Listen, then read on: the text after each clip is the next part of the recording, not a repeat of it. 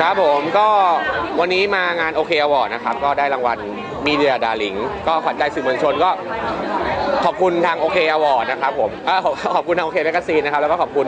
พี่พี่ๆสื่อมวลชนด้วยนะครับ ก็ความจริงแล้วรางวัลที่ผมได้นี่ก็เหมือนเป็นรางวัลที่เอ่อเราทำบุญร่วมกันมานะครับกับพี่พี่ๆสื่อนะดีใจไหมครับพี่บอยดีใจไหมก็ดีดีดีครับดีใจครับก็เอ่ออย่างที่ผมเคยบอกไปเวลาผมมาทำงานอะไรอย่างเงี้ยพี่ๆสื่อก็ เหมือนเป็นเพื่อนร่วมทีมอีกอีกทีมงานหนึ่งที่เราต้องทำงานควบคู่กันไปอะไรอย่างเงี้ยครับก็ขอบคุณพี่ๆสื่อมวลชนที่เรียกว่าให้ความเอ็นดูผมตลอดมานะครับ แล้วก็ก็หวังว่าเราจะรักกันอย่างนี้ไปเรื่อยๆครับผมปีนี้จะเดินสายรับรางวัลต่อเนื่องเลยไหมครับพี่บอยก็คงไม่ถึงขนาดเดินสายนะครับ แต่ว่าถ้ามีแล้วก็ก็ก็ไปครับน้องวันใหม่มารับรางวัลด้วยใช่ไหมคะใช่วันนี้วันใหม่ได้รางวัลครูคิดนะครับ ก็เหมือนกับเป็นรางวัลเด็กอะไรอย่างเงี้ยแต่ว่าตอนนี้ วันใหม่หลับอยู่ในห้องนะครับเดี๋ยวเดี๋ยวคราวนี้หลับมาบนรถครับผม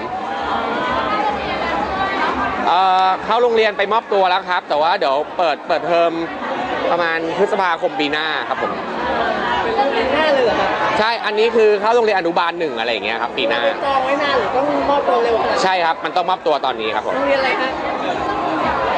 โรงเรียนชื่อโรงเรียนชนานันท์ครับผมก็ คุณแม่ก็มีเอ่อมีคนรู้จักแนะนำให้ด้วยอะไรเงี้ยครับ ตอนนี้วันใหม่เตรียมตัวยังไงบ้างคะวันใหม่เตรียมตัวอะไรบ้างเตรียมตัวไงบ้างตอนนี้ก็ยังเหมือนเดิมนะครับ ก็ยังเอ่อเรียนอยู่ที่เอ่อเป็นสถาบันพัฒนาการเสริมพัฒนาการของเด็ก ๆ อะไรเงี้ยก็ยังเรียนอยู่แต่ว่าเดี๋ยวรอเข้าเอ่อเข้าพฤษภาคมก็เข้าอนุบาลหนึ่งแล้วโรงเรียนนี้ยังสองภาษาหรือว่านานาชาติหรือว่าโรงเรียนสองภาษาหรือเปล่า นานาชาติหรือยังไงบ้างไม่ได้ไม่ได้เป็นโรงเรียนเตอร์ครับเอ่อสองภาษาไหมเอาครับผมเป็นเรียนสองภาษาครับแต่ผมผมไม่แน่ใจสองภาษาฮะเราที่ถึงยังไงบ้างในการที่เราจะเข้าเรียนแล้วครับผมก็เอ่อเขาไปมอบตัวมาวันนั้นก็แม่พาไป ก็แม่เขาก็บอกว่าน้องเขาก็ดูสนุกดีเพราะว่าโรงเรียนก็มี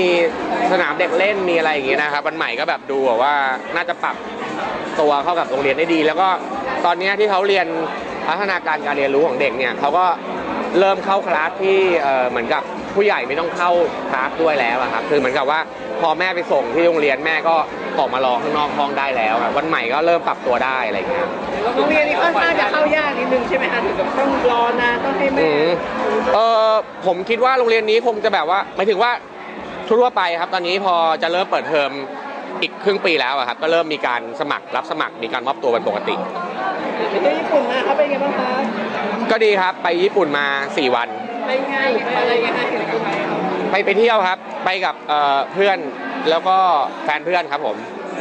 แฟนเราอะฮะ ไม่มีฮะอากาศก็ก็กำลังดีครับกำลังดีครับผมปีนี้ได้ของฝากติดบ้านจากคุณเราฝากพี่มากกี้มาไหมครับซื้อของฝากมากกี้ก็มีซื้อเหมือนกันครับ เพราะว่า นางส่งข้อความมาขู่ไว้ก็ต้องซื้อครับอะไรยังไงเอ่ยฮะซื้อเป็นแก๊สเก็ตปกติอะไรอย่างเงี้ย ยังไม่ได้บอกนางเลย ตอนแรกนี่อุตส่าห์จะแบบยั่วโมโหนาง เพราะว่านางเพิ่งไลน์มาว่าทวงของฝากบอกไม่มีนางก็โกรธอยู่ตอนนี้ครับ ช่วงที่ไปญี่ปุ่นก็มีคอมเมนต์แฟนแฟนเพจก็แบบเหมือนแนวโรคจิตแล้วคนก็เข้าไปว่ากันเดี๋ยวเราได้เห็นคอมเมนต์อ๋อ คอมเมนต์ก็เห็นมาสักพักแล้วครับ แต่ว่าเราก็ เรียกว่าไงดีคือเข้าใจทุกฝ่ายใจเขาใจเราแต่ก็ไม่ได้มีอะไรตราบใดที่เขายังไม่ได้สร้างความเดือดร้อนอะไรก็ไม่เป็นไร อันนี้ตามเลยค่ะพี่บอย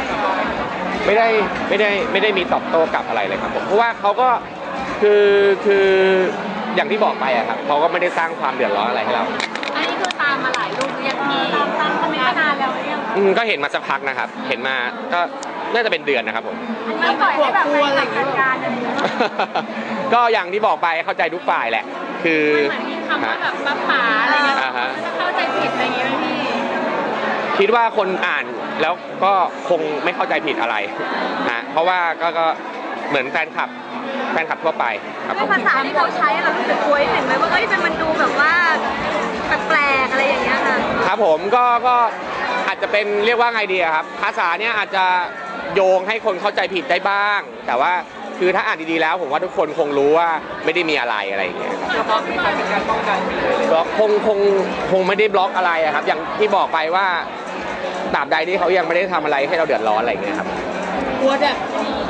จะมาประชิดตัวไหมฮะตามติดประชิดตัว อ๋อ ก็ไม่เป็นไรถ้ามาแล้วเขาไม่ได้ทำอะไรก็ไม่เป็นไรครับ ทำให้เวลาการออกงานมากขึ้นเราก็มีการไม่มีไม่มีการครับผม แต่เหมือนในไอจีสร้างความวุ่นวายพอสมควรนะอ๋อแบบต่อยอดเยอะมากลุกด่าเยอะก็ก็ ไม่รู้เหมือนกันยังไงดีอะก็อย่างที่บอกไปอะครับ ถ้าเรายังไม่รู้สึกว่าเราเดือดร้อนอะไรก็ไม่เป็นไร ก็เป็นสีสันไปแล้วกัน เข้าใจเข้าเข้าใจทุกฝ่ายแหละครับความจริง ก็ยังไม่ได้เป็นเรื่องที่เอามาซีเรียสอะไรนะใช่ใช่ใช่ใช่ครับใช่แฟนคลับเราคนอื่นเขาก็เป็นห่วงเลยครับ ครับเขาก็เป็นห่วงแหละครับ ก็ขอบคุณทุกคนที่เป็นห่วงเนาะแต่ว่า ตอนนี้ก็เรียกว่าไม่ใช่สถานการณ์ที่ซีเรียสหรือว่าอะไรมากมาย